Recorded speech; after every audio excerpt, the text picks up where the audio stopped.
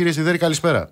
Καλησπέρα, κύριε Μπογιόπουλε, σας και τους ακροατές σας. Ο κύριος Γιώργος Σιδέρης είναι πρόεδρος του Σωματείου Εργαζομένων στο Αττικό, στέλεχος της Ομοσπονδίας ε, των Νοσοκομιακών Γιατρών. Ε, θα συμμετάσχετε κι εσείς ε, σε όλα αυτά τα σοου. Ναι, όχι, δεν θα συμμετάσχουμε όπως και αρκετοί συνάδελφοι.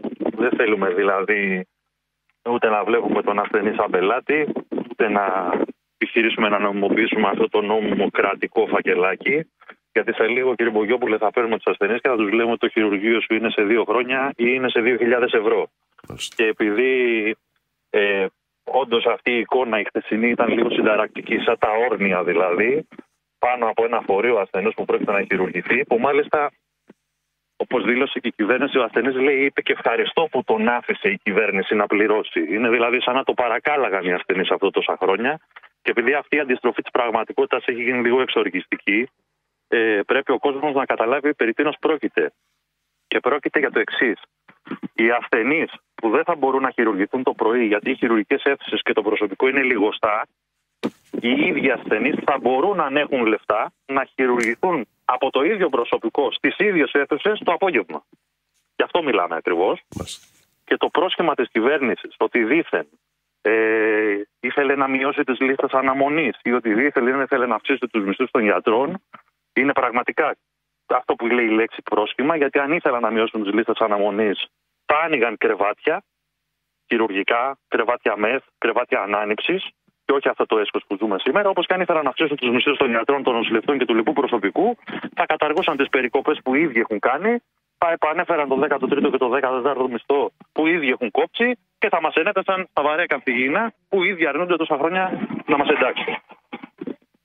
Πείτε μου κάτι, διαβάζω ε, στοιχεία τα οποία λένε ότι σε ό,τι αφορά την, ε, σε ό,τι αφορά την Αθήνα ε, έχουμε μιλάμε για, τις, ε, για την Αττική, μιλάμε για 200 χειρουργικές ε, αίθουσες από τις οποίες λειτουργούν μόνο οι 130.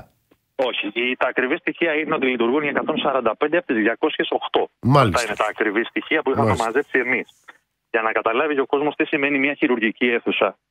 Ε, ένα Μια χειρουργική αίθουσα σημαίνει τρία τουλάχιστον περιστατικά τη μέρα. Σημαίνει περίπου 700 χειρουργία το χρόνο. Μόνο στο νοσοκομείο που είμαι εγώ, που είναι οι 6 από τις 14 χειρουργικές αίθουσες κλειστές και ετοιμάζονται και εδώ, όπως παντού, να εγκαινιάσουν αυτό το, το μέτρο των απογευματινών επιπληρωμή χειρουργείων, αν ανοίγαν αυτές οι 6 αίθουσες, σημαίνει 4.000 χειρουργία μέσα σε ένα έτος. Το λέω έτσι απλά για να καταλάβει ο κόσμος περί τίνος πρόκειται. Και επειδή όντως ήταν εύστοχο αυτό που είπατε στην αρχή, ότι τα πρώτα τα κερνάνε και θα θέλουν να κεράσουν και τα επόμενα, με την υποτιθέμενη χορηγία του Ταμείου Ανάκαμψης. Αυτό το Ταμείο Ανάκαμψης, όπως βλέπετε, δίνει λεφτά για να εδρεωθεί ένα μέτρο που αφορά το νόμιμο φακελάκι, αλλά δεν δίνει λεφτά για να ανοίξουν οι κλειστές χειρουργικές αίθουσες για να προσληφθούν νοσηλευτές και προσωπικό που είναι απαραίτητο για να ανοίξουν τα χειρουργεία. Και αυτό είναι πολύ κατά τη γνώμη μας βασικό για τον προσανατολισμό που έχει ακόμα και η όποια χρηματοδότηση της Ευρωπαϊκής Ένωσης. Αλλά και πέρα από αυτό, αν δούμε ότι σήμερα που μιλάμε, που διάφοροι είτε διοικητές, είτε προϊστάμενοι, είτε πρόεδροι χειρουργικών τομέων στέλνουν χαρτιά στους συναδέλφους και τους λένε να δηλώσουν ενδιαφέρον, είναι σαν να ξεχνάνε τα κενά που υπάρχουν και είναι σαν να ξεχνάμε αυτό που ζήσαμε πριν δύο χρόνια. Σας θυμίζω ότι στην πανδημία, στην πανδημία έγιναν 100, 200 συγγνώμη, χιλιάδες λιγότερες χειρουργικές πράξεις στα νοσοκομεία. Μόνο στο νοσοκομείο που είμαι εγώ δεν πραγμα, πραγματοποιήθηκαν 2.000 λιγότερα χειρουργία. Μόνο, μόνος στο Αττικό μόνος αυτό. Στο Αττικό, μόνος στο Αττικό. Συγκριτικά στοιχεία για μια διετία ήταν ότι έγιναν 2.000 λιγότερα χειρουργία. Γιατί; Γιατί δεν προσλάμβαναν προσωπικό, το έπαιρναν το προσωπικό και το έβαζαν στις πρόχειρε μέτρου που στελέχωσαν και αυτό το ίδιο έκαναν και με τις αίθουσες χειρουργείου. Άρα, εμείς αυτό που λέμε στον κόσμο, γιατί ο ίδιος πρέπει να το πάρει πάνω του και να το παλέψει, είναι ότι οι υγειονομικοί αφενός δεν πρέπει να γίνουν συνένοχοι, ίσα ίσα να παλέψουν και για να ανοίξουν οι κλειστές χειρουργικές αίθουσες και για μισθούς και για αύξηση των αποδοχών τους, αλλά ο ίδιος ο κόσμος να μην δεχτεί να πληρώσει γιατί έχει χρυσοπληρώσει πραγματικά και δύο και τρεις και τέσσερις φορές. Και να γυρίζει την πλάτη του και σε διάφορους προφήμους και στην κυβέρνηση και σε διάφορα όρνια σαν και αυτά που έβγαζαν εχθές φωτογραφίες πάνω από το κρεβάτι του ασθενούς. Πόσοι γιατροί λείπουν από το σύστημα, κύριε Σιδερή.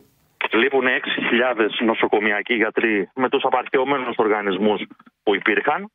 Ε, λείπουν περίπου 30 με 35.000 λοιπό προσωπικό ε, με τα στοιχεία που εμείς τουλάχιστον έχουμε από τα παλιά, τα απαρχαιωμένα οργανογράμματα που υπήρχαν και η κυβέρνηση λέει με θράσος και μάλιστα ο ίδιος ο, ο νέος υπουργός του Υπουργείου Εμπορίας Υγείας λέει ότι δεν πρόκειται να δώσει σάλιο για αυτές ακριβώς τις, ε, για αυτή την κατεύθυνση. Για προσλήψεις δηλαδή, για χρηματοδότηση, για υλικά, για εξοπλισμό.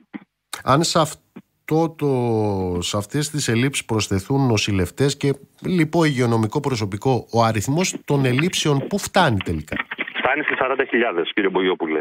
Και είναι χαρακτηριστικό ότι αυτές τις 40.000 που εμείς ζητάμε να αναπληρωθούν με μόνιμο προσωπικό, η κυβέρνηση τα όποια μπαλωματάκια κάνει από εδώ και από εκεί αφορούν μόνο συμβασιούχους. Δηλαδή ανθρώπους που έρχονται, τους ξεζουμίζουν και απολύονται. Όπως ετοιμάζεται να κάνει με μια σειρά συναδέλφους το επόμενο διάστημα μέχρι και τον Ιούνιο. Είτε αυτό αφορά ε, εργαζόμενους στην καθαριότητα, είτε αφορά εργαζόμενους στη φύλαξη, είτε αφορά νοσηλευτικό προσωπικό, είτε αφορά βέβαια και ε, γιατρούς. Αύριο, ε, έχω καταλάβει καλά, αντίστοιχο σοου με αυτό στο Παπαγεωργίου προγραμματίζεται στον Ευαγγελισμό. Ναι, αύριο εμείς λοιπόν θέλουμε να χαλάσουμε αυτό το σοου. Γι' αυτό δύο μισή ώρα καλούμε όλο τον κόσμο στον Ευαγγελισμό.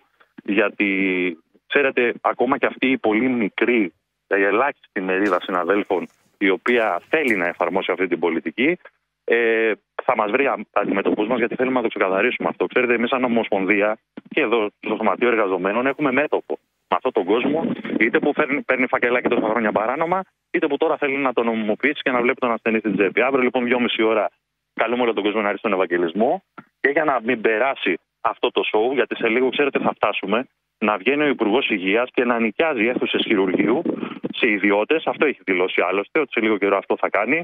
Να δεν ξέρω πώ κάνει και για ένα τηλεεμπόριο του στυλ, ε, τη λιγουρεύεστε και ελάτε πάρτε αλλά επειδή εμείς θεωρούμε ότι ο ασθενής δεν πρέπει να λέει και ευχαριστώ, θεωρούμε ότι πρέπει να παλέψει για αυτά που δικαιούνται, πρέπει αύριο δύο μισή ώρα να είναι όλοι στον Ευαγγελισμό. Υπάρχουν, ξέρετε, γιατροί, συνάδελφοί μας, που έδωσαν τη ζωή τους στα νοσοκομεία. Και αυτοί οι γιατροί, 30 χρόνια και 40 που δουλεύαν, τα έστησαν από το μηδέν. Τα στελέχωσαν από το μηδέν. Τα μπήκανε και δώσαν τη ζωή τους. Και το χρωστάμε και σε αυτούς, αν θέλετε. Πείτε μου, αύριο η, από ό,τι βλέπω η Ένωση Γιατρών Νοσοκομείων Αθήνας Πειραιά, η ΕΙΝΑΠ, έχει κηρύξει και στάση εργασίας. Είναι πανηγειονομική αυτή η στάση, μία με τρεις; Η στάση εργασίας αφορά όλους τους γιατρούς των δημόσιων νοσοκομείων της χώρας. Υπάρχει στάση εργασίας του Ευαγγελισμού και το ίδιο θα κάνουμε σε όλα τα νοσοκομεία που θα πάει να εφαρμοστεί αυτό το μέτρο. Όπως κάναμε και προχθές στη Θεσσαλονίκη με την Ένωση των Συναδέλφων εκεί. Σας ευχαριστώ θερμά, κύριε Σιδερή. Να είστε καλά. Καλή συνέχεια.